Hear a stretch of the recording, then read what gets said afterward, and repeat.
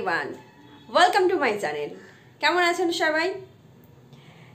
আর আজ থেকে ভেবেছি কোনো গরম নিয়ে কোনো কথাই বলব না। গরম গরমের মতো চলবে, আমি আমার মতো আমার জীবনটা যেরকমভাবে যে কোনো পরিস্থিতিতে এনজয় করতে করতে কাটাই, ঠিক সেইভাবেই কাটাবো। এনাদের কৃপাতে। যাক, আজকে তো নীল ষষ্ঠী। অনেকের মনে এই প্রশ্নটা জাগতেই পারে, নীল ষষ্ঠী তো যাদের সন্তান আছে তারা করে। এটা হয়তো অনেকে জানে না, সন্তানের কামনাতেও অনেক মা এই ব্রত রাখেন। পরিবারের জন্য, পরিবারের সকলের সুস্থতা কামনা করেও কিন্তু এই ব্রতটা করা যায়। গোত্রান্তর হয়েছে আমার ঠিকই, কিন্তু সঠিকভাবে আমার শ্বশুরবাড়ির তরফ থেকে নিয়ম শেখানোর জন্য যখন সেরকমভাবে কেউই নেই আমি নিজেই নিজের মতো করে কিছু নিয়ম আবিষ্কার করে ফেলেছি। সেই হিসেবেই আমি আগের বছর থেকে যেহেতু নীলষষ্ঠীর ব্রতটা করি এবছরও করব। তবে হ্যাঁ একেবারে উপবাস থেকে করতে পারি না। অনেক কিছু নিয়ম আছে, এত কিছু নিয়ম আমি মানতে পারি না। আমি আমার মতো শর্টকাট প্রসেসে কিছু নিয়ম ফলো করার চেষ্টা করি। ভোলে বাবা আমাদের প্রত্যেকের বাবা, এই জগৎটাই তার সৃষ্টি। তাই তাকে মন দিয়ে প্রার্থনা করার জন্য, মন থেকে ডাকবার জন্য, তার পুজো করবার জন্য কোনো রুলস অ্যান্ড রেগুলেশনসের প্রয়োজন আছে বলে আমি ঠিক মনে করি না। চলুন, আজকের ব্লগটা এবার এখান থেকেই শুরু করছি। যদি আজকের ব্লগে কোনো কিছু অংশ ভালো লাগে, তো definitely like comment share and subscribe my channel maharaja maharani. উপোসের দিন মানেই আমার মোটামুটি দালিয়ার খিচুড়ি, সাবুর খিচুড়ি এসবই হয়। আজকে দালিয়ার খিচুড়ি আবার বানাবো। দালিয়ার প্যাকেটটা শেষ করে দিতে চাইছি কারণ আমার ঘরে এত পিঁপড়ে হচ্ছে না, এবার দালিয়ার মধ্যেও পিঁপড়ে লেগে যাচ্ছে। আজকে সেভাবে রান্নার প্রেশার নেই বলে অনেকগুলো কাজ রেখেছি। এই যে ফ্রিজটাকে ডিফ্রস্ট মেরেছি, ওটা আর এবার ভেতরের সমস্তটা পরিষ্কার করতে হবে। এটা অটো ডিফ্রস্ট হয় না, এটা ম্যানুয়াল করতে হয়, এটার পেছনে আমার আবার সময় যাবে। বাসনের তাকটা আবার পরিষ্কার করব, পিঁপড়ে প্রচুর মাটি তুলেছে। আর সব থেকে সুবিধা আমার উপসের দিনগুলো দুটো মানুষ বলেই আমার তো ওর কোনো জ্বালা নেই। ওকে যে কোনো কিছু রান্না করে দিলে ও খেয়ে নেবে, ও বেরিয়ে যাবে। এক কাপ মুগ ডাল দিয়েছি যখন, দু কাপ ডালিয়া দেব। সমস্তটা ধুয়ে রেডি করে রেখে দিই।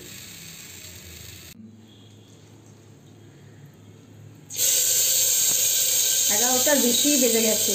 এতক্ষণে বলতে আমি বারোটায় বেরোবো। অন্য দিন একটা দেড়টাই বেরোই। ডালিয়াটা তো হতে আমার সময় দিতে হবে। ডালিয়ার খিচুড়িও আমার হয়ে গেছে।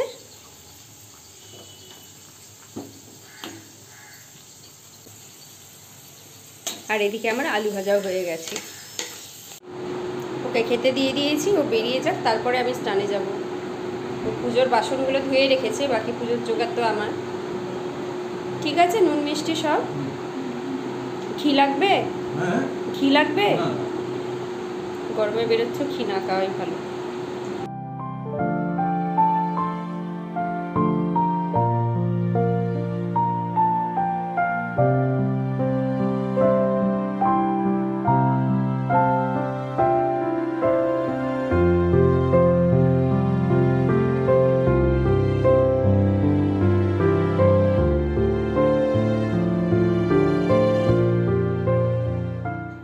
একটা বেজে গেছে।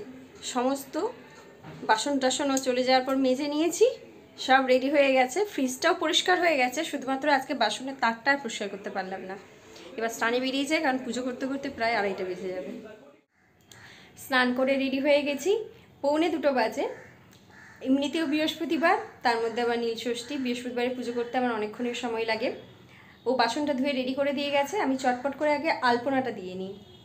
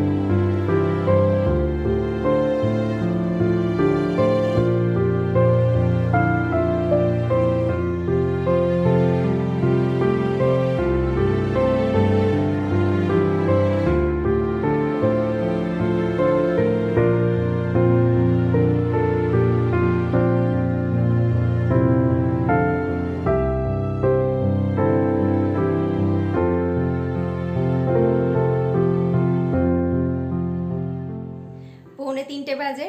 ফাইনালি এখন পুজো শেষ হয়েছে। জাস্ট প্রসাদটুকু নামিয়ে একটু চরণামৃত গ্রহণ করে আমি এবার খেতে যাব।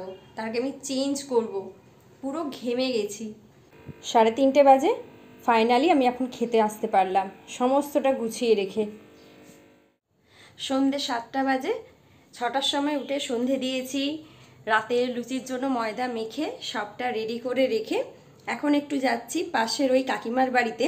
কাকিমা আজকে সন্ধেবেলায় যেতে বলেছিল। ষষ্ঠীর জন্য দুপুরে কাকিমা সাবু মাখা খেয়েছে, আমার জন্য একটু রাখবে বলেছে। সেই কারণেই যেতে বলেছে। ইতিমধ্যে ও আমাকে ফোন করে বলল অলমোস্ট চলে এসেছে বাড়ির কাছাকাছি। ঠিক আছে, ওর জন্য একটু ওয়েট করে যাচ্ছিলাম। যদি চলে আসতো তাহলে ওর জন্য একটু খাবার রেখে যেতাম। ওর দেরি হচ্ছে যখন আমি চলে যাই। আধা ঘণ্টার জন্য কাকিমার ওখান থেকে ঘুরে আসি। এসে ওকে একটু খেতেও দেবো। আর রাতে লুচিরও জোগাড় করব। মা এমনিতেই আসবে বলেছিল রাতের জন্য তরকারি আর মিষ্টি নিয়ে। তাই আমি বলেছি আমার কাছেই রাতে লুচিটা খেয়ে নিতে। আপাতত খুব তাড়াতাড়ি করে বেরিয়ে যায় যত তাড়াতাড়ি যেতে পারব, তত তাড়াতাড়ি ফিরতেও পারব। সাড়ে আটটার সময় এসেছে। এসে পরপর ওই বিয়ে বাড়িগুলো আছে, তাই শাড়ি বাছাই পর্ব চলল। তারপরে খানিকক্ষণ আমার সাথে ঝগড়া করে নিল। এখন বসে বসে ইউটিউব দেখছে। যা এবার লুচিগুলো বেলতে হবে। লুচিগুলো বেলে দেবে। তুমি তুমি কোন কাজটা করবে? তুমি কোনো কাজই করবে না। তার কিন্তু লুচি পাবে না। বাড়িতে একবার লুচি করে এসে আবার মেয়ের এখানে এসে আবার লুচি করছে। না, যদিও মহারানী অনেকবার বলেছিলেন আমাকে লুচি বেলার কথা, কিন্তু আমি লুচি বেলতে গেলে আমার সবসময় অস্ট্রেলিয়ার ম্যাপ হয়ে যায়। কিছু করার নেই।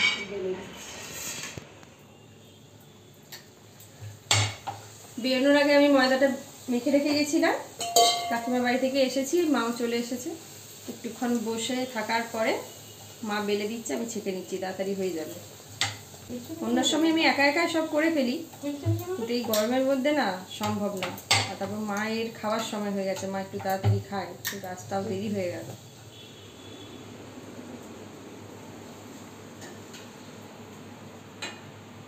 লুচি সব ভাগ ভাগ করে রাখা হয়েছে।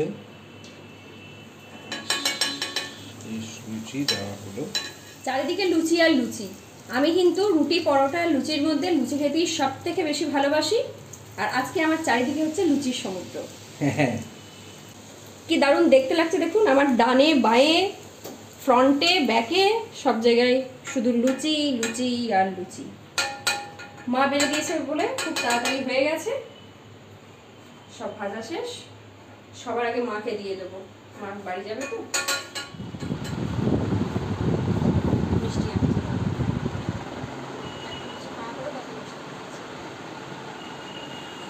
অবস্থা দৃশ্যটা দেখুন কত সুন্দর। এখানে শাশুড়ি মা খাচ্ছে, পাশে বসে জামাই খাচ্ছে। এত সুন্দর দৃশ্যের জন্য কিন্তু আমাকে বহু সময় অপেক্ষা করতে হয়েছে। চোখ অনেকের লাগতেই পারে কিন্তু তার জন্য আমাকে আমাকে অনেক ধৈর্য ধরতে হয়েছে ডেডিকেশন রাখতে হয়েছে তবে এই ফ্রেমটা এসেছে। পৌনে এগারোটা বাজে, মা চলে গেছে ফাইনালি আমি একটু ফ্রেশ হয়ে নিয়েছি, একটু গাটা ধুতেই হতো, নইলে আর পেরে উঠছিলাম না। এবার একটু ছাদে যাব, যেটা আমার রিফ্রেশমেন্টের জন্য ভীষণ দরকার। সবার ডিনার হয়ে গেছে, আমি করিনি, ছাদ থেকে নেমে এসে একটু টিভিতে কোনো মুভি দেখতে দেখতে আমি ডিনারটা করব। এটা এখন হ্যাবিটের মধ্যে হয়ে গেছে। আজকের ব্লগটা এবার এখানেই শেষ করে দিচ্ছি। যদি আজকের ব্লগের কোনো কিছু ভালো লাগে, যদি আমার সিম্পল লাইফস্টাইল আপনাদের ভালো লাগে then please do like comment share and do subscribe our channel maharaja maharani আর যদি কেউ ফেসবুকের পেজ থেকে দেখেন, তাহলে কিন্তু পেজটাকে একটু ফলো করে দেবেন। সকলেই ভালো থাকুন। সকলকেই আজকের নীল ষষ্ঠীর শুভেচ্ছা। প্রত্যেকের সন্তান সুস্থ থাকুক। Good night